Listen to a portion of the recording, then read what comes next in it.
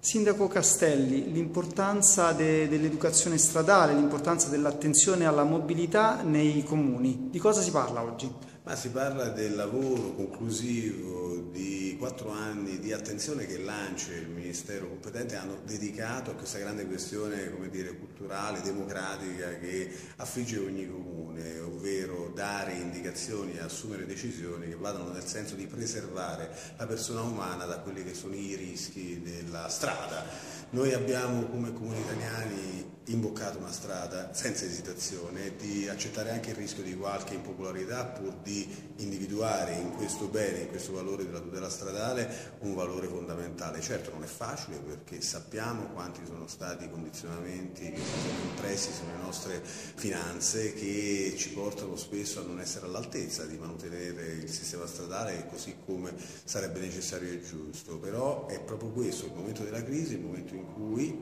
questo è l'esito della riunione di oggi, abbiamo voluto produrre una sorta di manuale di buone pratiche per consentire a ogni amministratore un orientamento possibile rispetto a scelte che spesso sono impopolari ma che vanno nel senso di salvaguardare il bene più prezioso, la vita, la persona e quindi il diritto di ciascun pedone ad esempio di non essere travolto se obbligata della strada passa di là. I sindaci devono fare anche questo.